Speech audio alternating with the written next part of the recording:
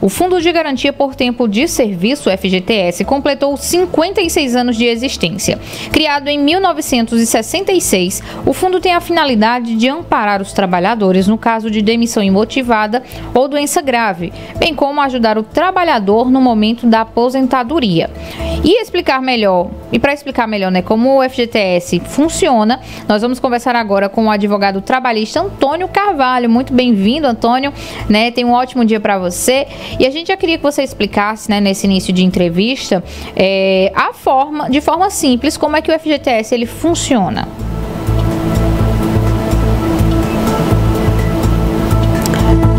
Sem o contato do Antônio, né? Sem o, o áudio dele. Vou fazer o seguinte, gente. Eu vou dar uma ligadinha para que ele converse com a gente pelo telefone, né? Para falar sobre esses 56 anos de FGTS né, importante para o trabalhador brasileiro conhecer um pouquinho dos direitos dele. Atende aí, Antônio, para a gente. Pronto, já estamos com o Antônio por telefone. Bom dia, Antônio, seja bem-vindo. Queria que você explicasse para a gente como funciona o FGTS. Bom dia, Laís. Vocês conseguem me ouvir agora? Sim, perfeitamente. Pronto. É, em 1966 foi criado o FGTS e a partir de 1 de janeiro de 1967 ele passou a existir de maneira efetiva, ele passou a funcionar para o trabalhador e para a trabalhadora brasileira. Embora no período de sua criação ele tenha sido é, gerado como uma possibilidade de opção. É, na época se chamava a opção, se fazia opção pelo FGTS ou se poderia é, não fazer essa opção e quando da demissão, que é o, o sentido, e daqui a pouco eu vou falar um pouquinho sobre isso, é, esse, esse, esse instituto poderia ser substituído na época pelo, pela indenização por tempo de serviço, que tinha um valor correspondente, equivalente a um ano, a um mês de salário por um ano de trabalho efetivo. A partir da Constituição de 88, o FGTS passa a fazer parte de maneira não opcional, ele passa a ser obrigatório para os trabalhadores e trabalhadoras. A empresa não pode descontar do salário o percentual de 8% que é depositado na conta fundiária, na conta do FGTS, junto à Caixa Econômica, e fica à disposição do trabalhador inicialmente apenas em casos de demissão imotivada ou de falecimento por morte ou aposentadoria, e há alguns anos eh, se flexibilizou essa regra para que se pudesse usar junto ao sistema financeiro de habitação para fazer a aquisição ou amortização, a diminuição do débito eh, para a aquisição de imóvel em caso de, de problema de saúde grave ou mais um pouco para cá a partir do momento que se flexibilizou o saque aniversário, onde o trabalhador uhum. eh, pode requerer junto à Caixa Econômica e recebe a liberação no período do, do seu aniversário ano a ano. Nessa modalidade, ele perde o direito a receber é, quando da sua rescisão contratual, que é o sentido maior do FGTS. Por isso que a gente sempre optou por não recomendar essa adesão de saque é, anual, deixar para uma, uma eventual necessidade em caso de demissão. Ô Antônio, e o FGTS, né, que você bem frisou aí, tem oferecido né, várias vantagens para o trabalhador e uma delas é você poder usar o valor que você tem lá, do, da, digamos assim, dessa poupança do FGTS para comprar a casa própria, né, para o financiamento. Então, assim, é, ele é muito democrático, né, ele veio realmente para ser um auxílio para o trabalhador, né?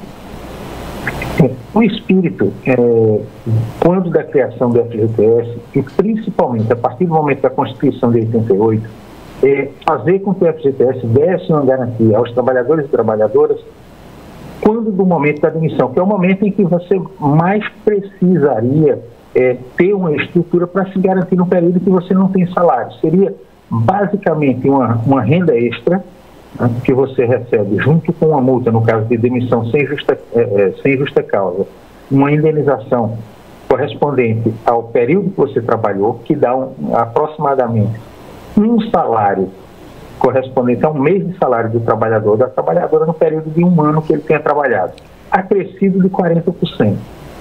No período em que foi feitas essas flexibilizações, na questão da habitação, ele não fazia interferência. Você tiraria, tiraria o valor, mas não faz interferência direta na questão é, é, do direito ao saque quando da demissão. Tendo saldo a receber, receberia normalmente. Com essas alterações que fizeram, permitindo esse saque, essa flexibilização na utilização do FGTS, embora ele continue vinculado exclusivamente à Caixa Econômica, é, se permitiu que o trabalhador fizesse empréstimos e deu o FGTS como garantia, seria uma modalidade de empréstimo consignado, a possibilidade do saque aniversário, que você tem um valor pré-determinado que você pode é, adquirir, pode contratar junto à Caixa pagando juros em cima desse, desse contrato, com garantia real de pagamento, que é o teu saldo do FGTS. Você tem que ter um saldo mínimo uhum. para poder fazer essa, essa modalidade de saque. Volto a frisar, a gente não recomenda esse tipo de modalidade de, de adoção do saque anual, do saque aniversário, porque ele implica na perda da possibilidade de você receber o FGTS quando da sua efetiva necessidade, que é o momento da demissão, onde o trabalhador, a trabalhadora tem direito, além do FGTS, eh, dependendo do período de trabalho e da modalidade da demissão, o direito à percepção de seguro-desemprego. São as duas garantias que, no período de maior precisão, que é o período da demissão, viabiliza essa, essa relação com o trabalhador. Bom, então a gente pode concluir, né, Antônio, nesses 56 anos que a gente ainda tem muito a comemorar e, claro, muito a evoluir com o FGTS, né, e torcer para que ele traga sempre esse auxílio aí, principalmente no momento demissional, para o trabalhador. Sem dúvida. A gente, inclusive, esqueceu de falar, Laís, que o FGTS, a partir de 2015, passou a ser obrigatório também para os trabalhadores e trabalhadoras eh, que trabalham nas residências, trabalhadores domésticos.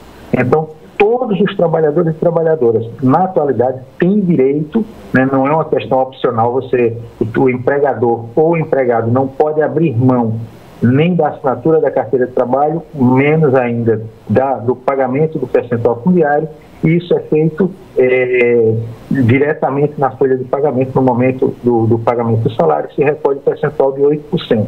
Hum. E a gente enfatiza sempre, para que os institutos legais evoluam, para que o trabalhador e a trabalhadora tenham direito é, a receber o que lhes é garantido, é necessário conhecer a lei, se aprofundar, buscar o conhecimento, porque somente quem conhece a lei pode exercer seus direitos. Antônio, eu agradeço muito a você, né, por essas orientações, por esses esclarecimentos e até uma próxima. A gente está sempre à disposição, uma grata satisfação. Bom dia para você, Laís, e a todos que nos ouvem e nos veem na Rádio Cidade. A gente conversou com Antônio Carvalho, advogado trabalhista, falando sobre os 56 anos né, de existência aí do FGTS, o Fundo de Garantia do Tempo de Serviço.